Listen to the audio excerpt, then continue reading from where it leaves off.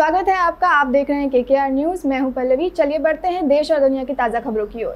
शिवपुरी ज़िले के फ़िज़िकल थाना क्षेत्र अंतर्गत आने वाले मुरसा मुंडा कॉलोनी में रहने वाले सलामत खान पुत्र अल्लाह बेली खान ने जानकारी देते हुए बताया कि वो झांसी अपने ससुराल में पूरे परिवार के साथ प्रोग्राम अटेंड करने गया हुआ था, जहाँ उसके सोने घर में अज्ञात चोरों ने चोरी करके तीन लाख रुपए की चोरी की घटना को अंजाम दिया है, जिसकी शिकायत उसने फ़िज़िकल थाने में सुनवाई न होने पर आज एसपी से कार्रवाई की गुहार लगाई है।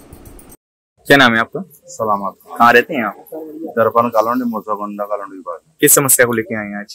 चौबीस तारीख को हमारी चोरी हो गई थी। हम बाहर गए हुए थे पूरा परिवार। हम्म। कितने की चोरी हुई थी?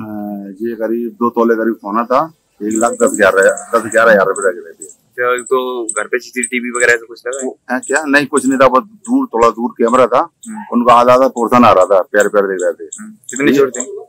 तीन चार जने देख रहे हैं उसमें हमको फुटेज में। हम्म। और उनका वो मोबाइल से बात भी कर रहे हैं वो दो तीन जने अंदर है वही जने बाहर से बात कर रहे हैं। मतलब रोशनी की चमक आ रही है मोबाइल की। आप लोग कहाँ आए थे पूरे परिवार? हम झांसी गए थे पूरा परिवार गए। ये हमारे ससुराल में प्रोग्राम था। अच्छा अच्छा। तो उसके बाद कितने की चोरी हुई थी तकरीबन कुल कुल? कितने लगे? करीब तीन लाख रुपए करीब चोरी हुई है। तो थाने पे शिकायत की? शिकायत की हम चौबीस तारीख को हुई थी हमारी चौबीस की रात में हुई थी हमारी चोरी। जी। पच्चीस के हमारे दामाद और बेटी आई थी उनने देखा ताला खुला हुआ था गेट के गेट खुला हुआ था। फिर थाने पे गए आप? थाने पे गए थे चौबीस तारीख को हमने करा पच्चीस को गए थे सुबह। हम्म। तो थाने पे गए मैंने लिख लिया थाने पे जाने का नहीं।